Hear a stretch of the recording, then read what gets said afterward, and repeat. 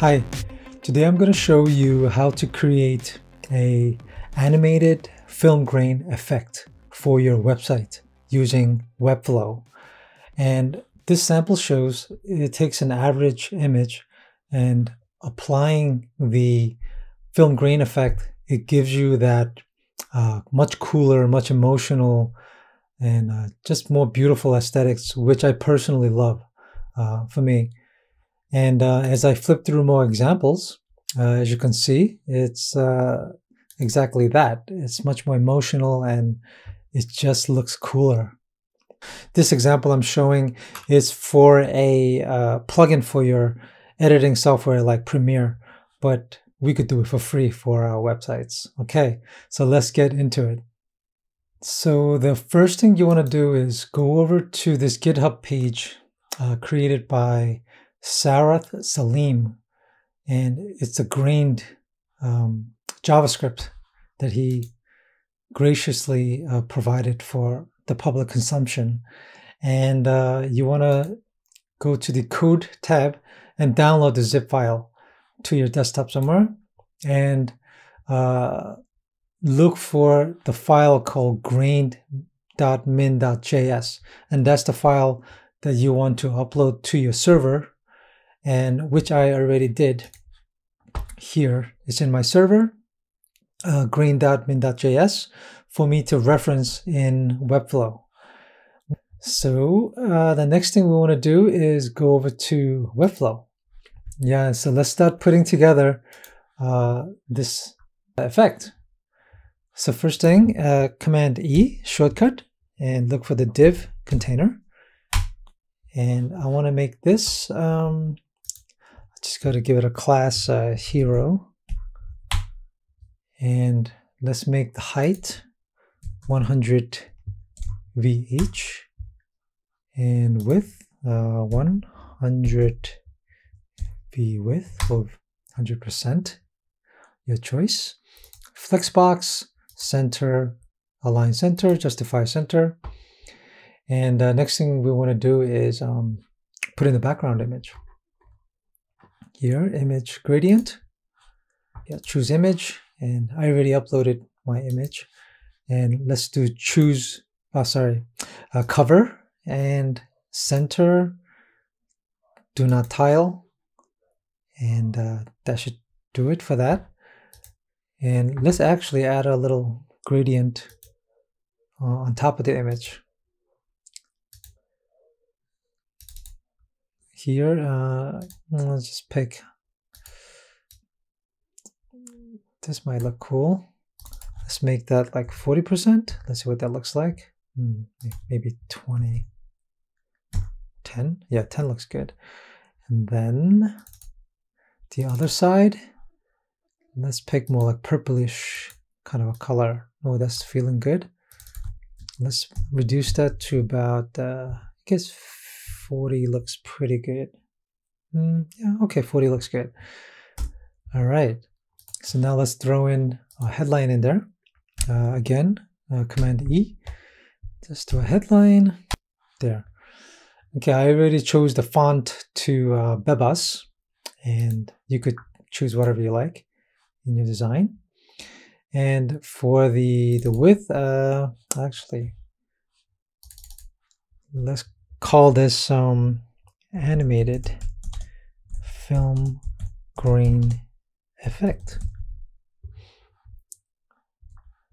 And let's make that, see it. Hmm, 8 looks okay. Make that 0 0.7 uh, EM instead. Okay, that looks okay. Now um, let's apply the, the JavaScript. So what you would do is go to a, another GitHub page that I created for you to grab my custom script. And uh, I will drop a link down below as well where you could grab it. And once you come to my uh, GitHub page, uh, copy the code and come back to the Webflow environment open up the page tab, open up the page, uh, the code area, And before the body tag, paste in the code. And uh, as I mentioned before, you should have uh, uploaded your um, the JavaScript file from uh, Sarath Saleem's uh, GitHub page. And once you upload to your server, you want to reference your path here. And my path is this. I already prepared a little bit, so I don't have to memorize that. It's a long path. Okay, so once I put that in there, so this is pretty much ready to go. And um, these are the settings that I thought it, it looks the best. And you could play around with the settings, you know, the pattern width, and you could see uh, what it does. And oh, you want to create the uh, div ID name for that container, which I have uh, yet to do. So I'll do that right now. Let's save that code and go back to the hero and let's create a ID for it. Uh, let's call it um, maybe green filter, I guess. Yeah. Let's copy that. Go back to the, the custom code area and replace the ID name to the green filter name that you that I just created. And you could name this however you like. So I save it and let's publish this. Okay, have a look. Cool, it's working. Uh, you may not be able to see this, but let me zoom in as you can so that you can see what I'm talking about. Yeah, there you go. It's uh, it's very subtle. What's cool about it is that it's subtle that uh, it's not in your face.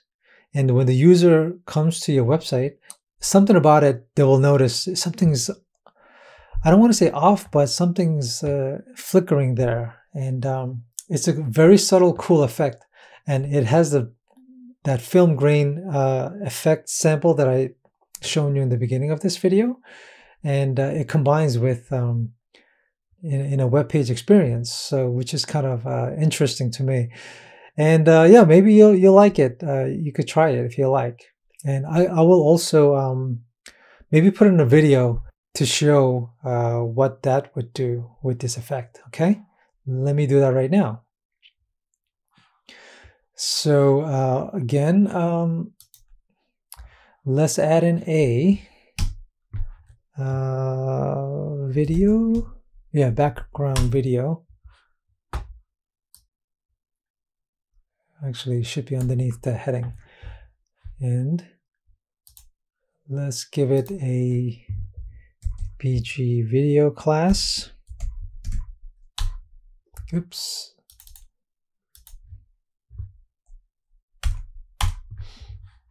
Okay, and let's give, uh, let's make this uh, position absolute. Let's fill.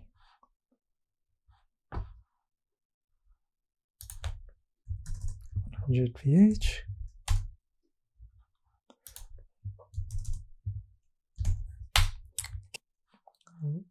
Let's put in the video, upload it. Uh, I believe I put it down here. Okay, so it's being uploaded. Now I'm going to uh, hide the background static image. Okay and make sure my hero uh, container is selected and shut the eyeball off for the time being for the static image. And as you can see, the, the video is in place now. Um, I would have to now publish it.